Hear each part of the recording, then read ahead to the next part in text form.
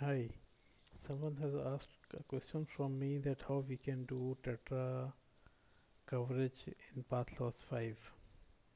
So even though uh, currently I don't have any tetra radio or antenna files with me, but just to help that person and just to help everyone who wants to do a small tetra coverage analysis or point to multi-point coverage analysis through path loss, I have made this small video it will help you just to make a base station and see that how much coverage this base station will have.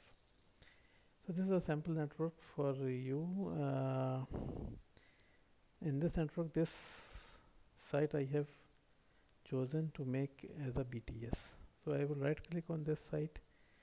So in these options you can see uh, this base station option. You will not find this option in path loss 4 this PTMP and this base station things these are in path loss 5 only. So when we will go in base station and then we will go for create. So by this creation I am saying path loss to make this site as a base station site. It will not be a normal microwave site it will be a point to multi-point site. So I say create now I can give a frequency range for this site. I can give some site data call sign station code.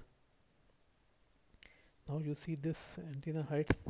It has a cross mark so it means the value is not full for this uh, we need to provide some further values to go ahead. Otherwise it will not move forward so I will click on this arrow. It needs uh, the base station antenna height. So for example I give it a height of 40 meters. So now we can see that that cross is gone and we have a right tick. We can also provide the antenna coupling I mean how much duplexer TX combiner or RX combiner and whatever you have on this site and also basically this is something that we need to provide. This is your base station antenna model and your base radio model and same your mobile or radio station antenna model radio model because I don't have these models with me so I have put some arbitrary values. And that is why you are fi finding some values in the previous uh, window as well. But to make uh, actual design you need to have all these exact information from the vendor whose radio or uh, antenna you will be using. But just to make this video I have put some arbitrary values. So now we have put everything so I can go ahead.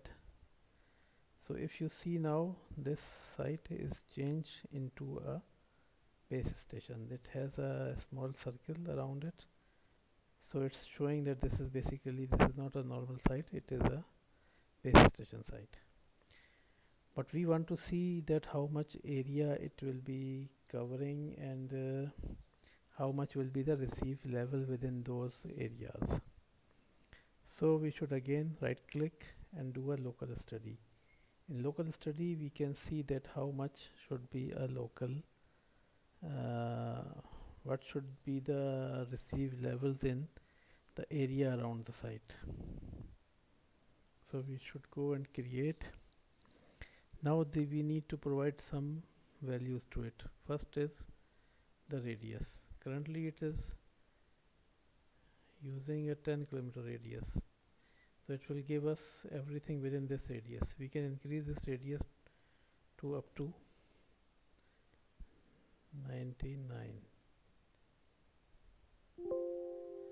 so but 99 should be too large.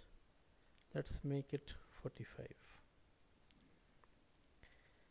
the profile generation we should use we should we are using I have uh, configured this path loss with SRTM but I don't have any clutter data so we will not be using any clutter data.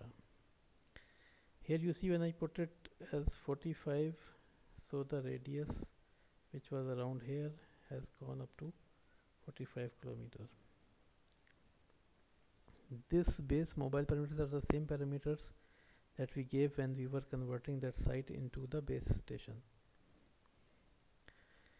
The display criteria is a bit important because it tells you the color which will be used for different receive levels. So for example receive level minus 50 should be red and then minus 65 should be orange and so on. We can change these colors and we can change the ranges but currently we should keep it as it is. This propagation parameters currently I will not change it and I will not go into details but uh, you can put your actual things here for example what should be the k value for which you are designing this all and what should be the your algorithm that you will be using? You can use NSMA or TIREM or path loss but I will not go in the detail right now. So once we have configured everything here then we can generate the local study because it is a big circle so it may take a bit of time. Uh, it will do 13 and 4 calculations to get our uh, required uh, output. So let's see. Mm, it's done now. It took 15 seconds and there was no exceptions. There was nothing wrong doing this calculation. So now we see this beautiful circle. We have four colors here this area near to the base station it's almost minus 50 with some very small red pilferage.